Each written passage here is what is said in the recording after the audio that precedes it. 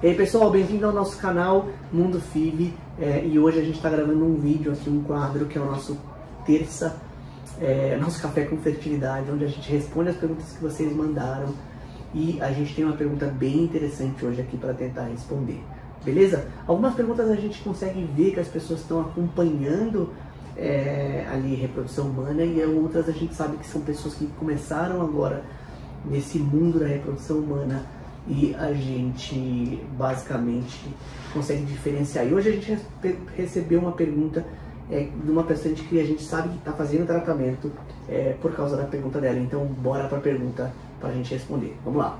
Doutor, após o uso do HCG, quanto tempo é recomendado para começar a inseminação artificial?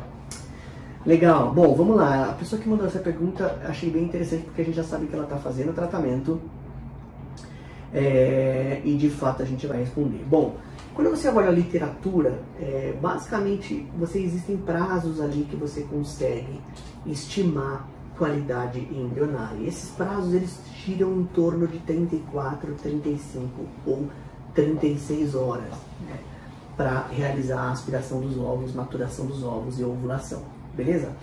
O que, que, a gente sabe? Quais são os prazos que a gente conhece de forma natural na nossa, na nossa no sistema reprodutor masculino feminino que a gente já conhece. É o seguinte: existe um hormônio chamado de LH, é, o hormônio luteinizante, onde é, existe um pico de estrogênio é, e esse pico de estrogênio, 12 horas desse, desse, dessa exposição a uma dosagem máxima de estrogênio, a gente tem um segundo ponto, pico, que é o pico do LH, ou seja, desse hormônio chamado de hormônio luteinizante. 36 horas depois desse pico de LH, a gente tem a ovulação propriamente dita, tá bom? Então, a primeira informação que você consegue, é, você consegue estimar é que você pode realizar a inseminação 36 horas depois é, de, do uso do HCG. O que, que é o HCG, Luiz? O HCG é, é, ele tem o mesmo trofismo ali, a mesma ação do que o hormônio LH no ovário, eles têm a mesma subunidade que a gente chama é, alfa, e isso faz com que você consiga usar o HCG para fazer essa maturação e essa ovulação, beleza? Bom, aqui vem o primeiro ponto, então 36 horas depois do HCG você pode fazer a inseminação. Pode fazer 35 horas antes?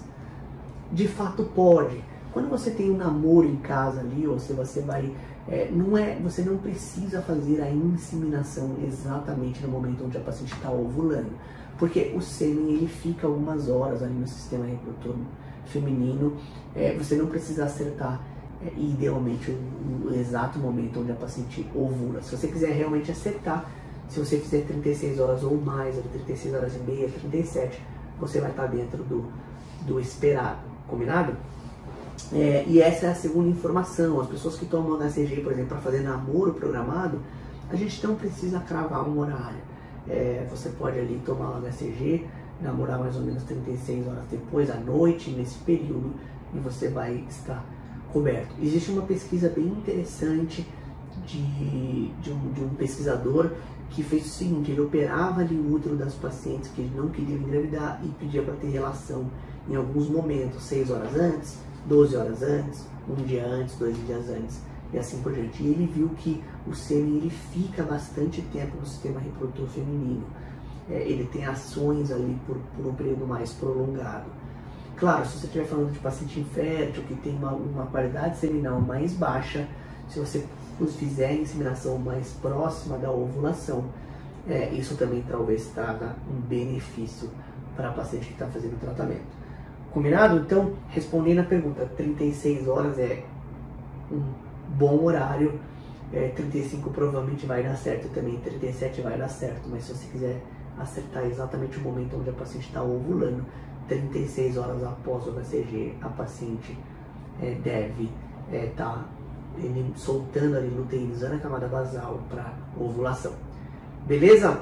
Acho que essa era a pergunta aqui, essa resposta. E, como eu falei, as pessoas que não estão acostumadas com FIV não sabem o que é HCG, não sabem tudo isso. Acho que vale a pena olhar os outros vídeos que a gente tem no canal.